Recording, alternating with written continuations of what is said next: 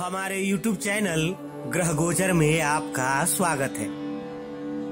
दैनिक पंचांग और राशिफल जानने के लिए हमारे चैनल को सब्सक्राइब कीजिए।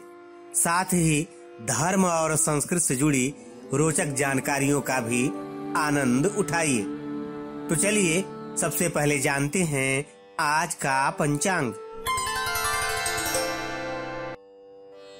काशी पंचांग के अनुसार आज दिनांक 29 फरवरी 2020 दिन शनिवार है।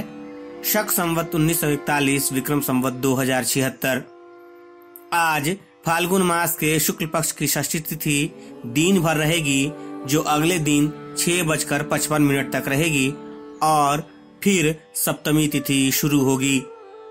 नक्षत्र भरणी रात में दो बजकर अंठावन मिनट तक रहेगा, उसके बाद कृतिका नक्षत्र रहेगा।